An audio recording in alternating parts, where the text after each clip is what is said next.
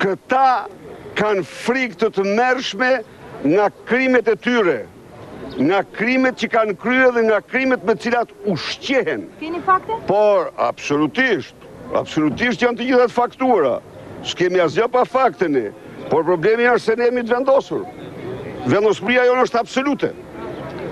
Beteja për krimin është betejë, për ekzistencën ose jo të demokracisë shqiptare dhe të shoqërisë shqiptare. Kjo betejë do të çohet deri në fund me vendosmërinë më të madhe. Ne kemi besimin më të thellë se përgjegjësia qytetare është pa dyshim më e madhe, më e fuqishme, se lidhjet e flliqura të krimit të këtyre qeveritarëve trafiqet e tyre. Ndaj dhe kjo datë, dymbëdhjetë marsi, shënon fitoren e parë të madhe të qytetarëve shqiptarë, të cilët me me. Vrullin e tyre, përzunë nga parlamenti një mazhorancë të molepsur, kokë e këmbë me krimin.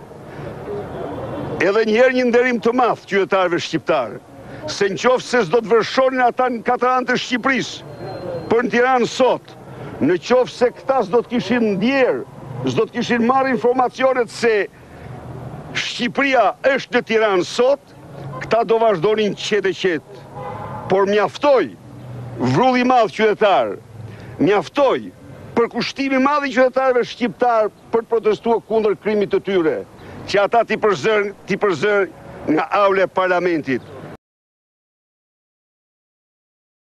Është e paimagjinueshme që maxhoranca të ikë, të braktisë Parlamentin dhe kryetari i Parlamentit të dridhet dhe të mos durojë më shumë se dymbëdhjetë minuta.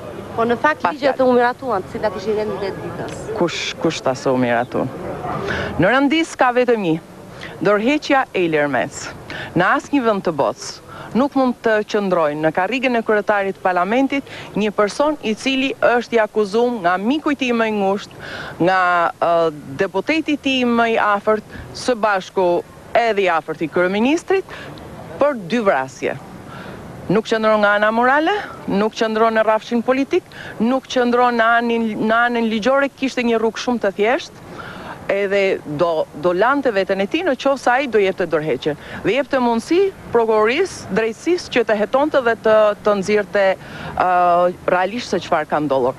Nuk e bëri dhe përfundoi me dymbëdhjetë minuta seancë, gjëja më qesharake në historinë e parlamentarizmit nga ky moment ato kanë ikur kanë braktisur parlamentin parlamenti nuk ekziston ato janë të delegjitimumë qeveria është e delegjitimume kryetari parlamentit ka ik.